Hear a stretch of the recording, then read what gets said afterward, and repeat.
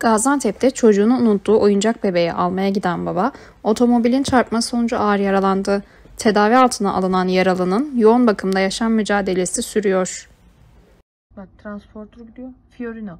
Şimdi Bak bu geçti. Bu geçtikten sonra geldi arkasındaki araç durdu. bak. Fiorino'dadır. Şimdi orada diyorlar Şimdi ki şurada şu araçtan inen arkadaşlar bize görgü tanığı yapan arkadaşlar. Ee, size de bahsetmiştim zaten. İfade veren arkadaşlar bunlar. Bak onlar geldi. bak o Fiorino'daki adam da Aynen. bak koşarak yürü. Bak ge- Evet, bak o da evet, geldi. Evet, evet. Bu birinci açımız. Ertesi günü akşam saat 9 ile 10 arası bize haber geldi böyle böyle kaza oldu diye. Sonra biz hastaneye geldik. Burada işte tomografisi falan çekildi.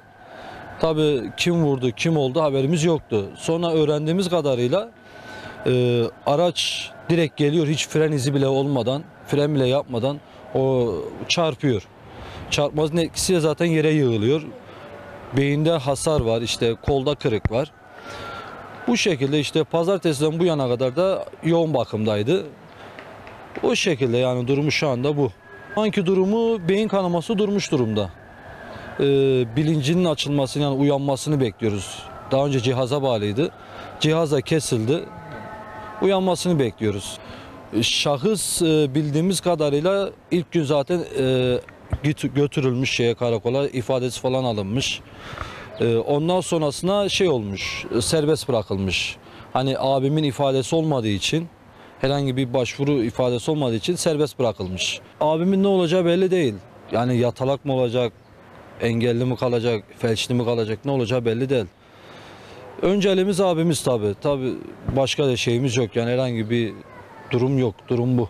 İlk önce iki araç dediler bize. Yani iki araç ilk önce biri vurdu sonra biri vurdu diye ama e, görgü tanıklarının oradaki polislere verilen ifadede tanıkların aracın tek aracı olduğunu o araç vuruyor abime abime vurduktan sonra hatta orada duruyordu Honda Civic marka bir araç ona vurmuş aracı o şekilde zaten tekrar kımıldatmaya çalışmışlar oradaki vatandaş abimi tanıdığı için komşuları aracı bırakmamışlar tutmuşlar yani olay yerine hareket olmasın diye öyle polisler işte gelmiş olay yeri inceleme falan tutanaklar tutulmuş. Durum bu şekilde. İşin doğrusu o da genç bir arkadaş. Kimse kimsenin canını yapmak istemez.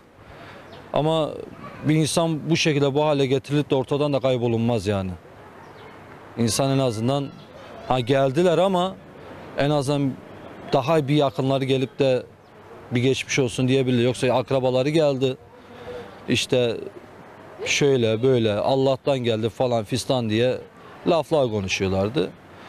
Bu şekilde yani hak neyse olsun. Süreç başlatılmadı. O da şundan dolayı abim entübe olduğu için ifadesi olmadığı için herhangi bir şey yapılamıyor biz öğrendiğimiz kadarıyla. Onun ifadesinden sonra yol izleneceği yani adli işlemlerin ondan sonra daha bir başka yağ alınır mı alınmaz mı bilmiyoruz.